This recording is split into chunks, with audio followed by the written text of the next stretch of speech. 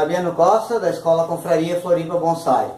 Hoje eu estou vindo aqui falar para vocês sobre um, muitas dúvidas que tiveram em relação ao substrato eh, quando eu comentei sobre uh, regiões substrato específicos.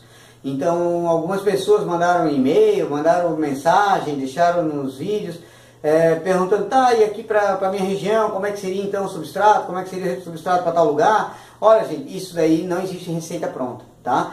Varia muito. Ah, às vezes, ah, eu estou aqui numa região em Florianópolis que posso usar um substrato e de repente, e logo um pouco mais acima já pega a serra aqui da minha casa, vai ter que usar um substrato um pouco diferente, eu não tenho como usar uma fórmula para dizer para vocês qual seria o substrato exato para cada um usar. Eu, eu uso, como eu já falei várias vezes, três é, componentes básicos, que eu uso o pedrisco de rio, eu uso caco cerâmico e uso uma, uma tufa, que seria aquela terra vegetal. Né?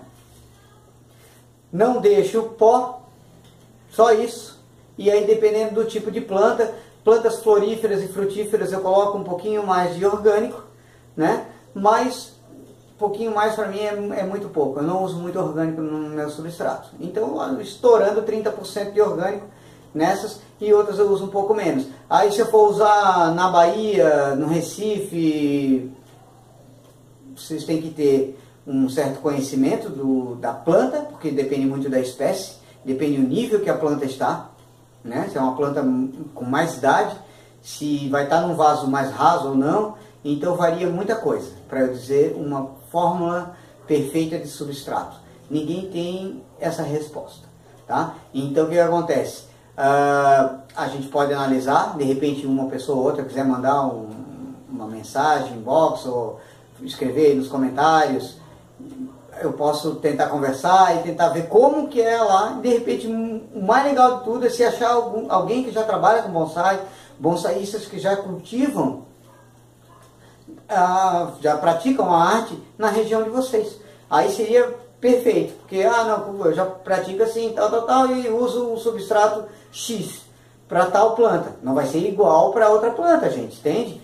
Mas é muito próximo. Então, muitas vezes eu uso, esse que eu uso, vamos botar aí 33% para cada um, eu uso para várias plantas.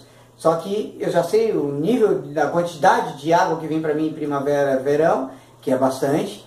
E no outono é mais tranquilo, então eu já sei o quanto que eu posso usar para mim na meu, no meu microclima, entende? Falando em Santa Catarina, Florianópolis. Se for Santa Catarina na Serra, é outra coisa. Então varia bastante, tá? Então não existe essa tal dessa receita pronta. Muita gente coloca receitinha pronta em vários sites eu já vi. Ah, para azalé usa tal substrato, para tal coisa usa. Isso daí é muito vago, tá bom, gente? É perigoso usar isso daí.